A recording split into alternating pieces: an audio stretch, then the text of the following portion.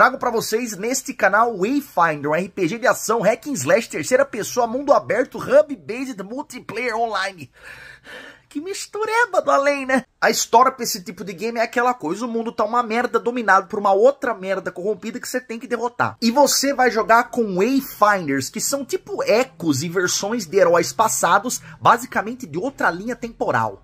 É isso que explica você encontrar vários heróis repetidos num grupo de multiplayer online, saca?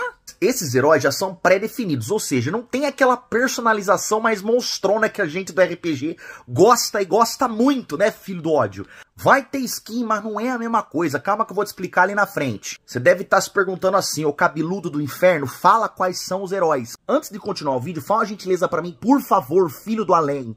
Se inscreve e curte esse vídeo. Temos o Ingrave, que é aquele paladinesco que a gente conhece. Suporte tanque, aquele ataque fraquítico, que é fraco com raquítico, saca? O Silo, que é o famosinho do tiro e ataque à distância focado em controle e DPS, né, dano. A Nis, que é a roguezeira assassina da sombra calcular imortal. O Kyrus, que é o mago Reaper acólito da escuridão, o famoso ceifador de alma, né? E a Senja, Senja, que é a guerreira bárbara com aquele esteroide, que tomou esteroide, com aquela espada colossal e uma manopla para desconfigurar a face. Vamos pegar o exemplo da Senja para falar de personalização. Ela é uma bárbara fortona com mini shorts e uma arma do tamanho de um prédio. Mas e se eu quisesse ser um bárbaro fortão com pouca roupa e uma espada no tamanho de um fusca? Não pode!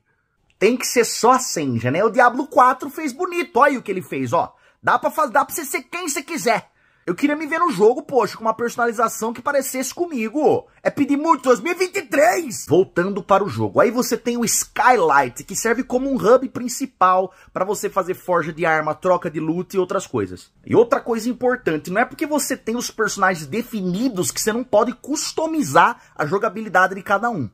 Por exemplo, o Kairos aí, o ceifador, o estilo de combate dele é de perto e cheio de dano. Mas se você equipar um rifle, a performance dele também vai ajudar pra caramba o grupo online à distância. Você tá me entendendo, filho do ódio? Agora vamos falar das zonas perdidas, que são encontradas no mundo aberto e podem ser mutadas com modificadores, aumentando a dificuldade e os desafios para ganhar melhores recompensas. Esse game tá muito interessante, eu já vi várias reviews da galera international que se divertiram horrores com gameplay nesse game. O único problema que me incomoda muito é a falta de personalização, cara. Aí já fico abaladíssimo. Wayfinder vai lançar para PS4, PS5, Xbox One, Xbox Series, PC e sim, será multiplataforma.